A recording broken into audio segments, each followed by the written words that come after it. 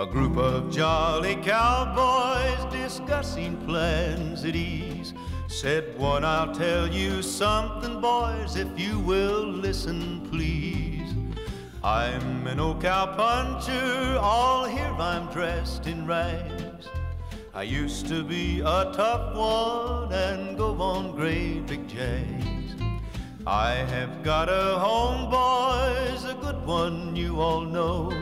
Although I haven't seen it since long, long ago.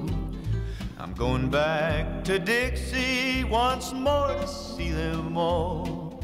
I'm going home to mother when the work's all done this fall. That night, this very cowboy went out to stand his guard. The night was dark and stormy, was raining very hard. The cattle, they got frightened and they rushed in wild stampede.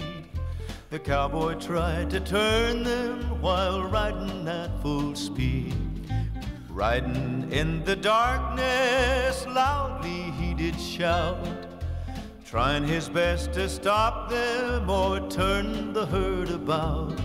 His saddle horse did stumble and upon him it did fall.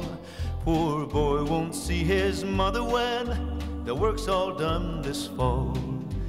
Fred, you take my saddle, Jim, you take my bed.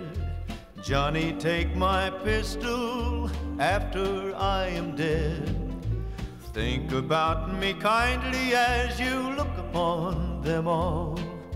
I'll not see my mother when the work's all done this fall. They buried Charlie at daybreak, no tombstone at his head.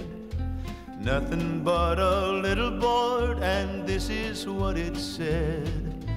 Charlie died at daybreak, he died from a fall. Poor boy won't see his mother when the work's all done this fall.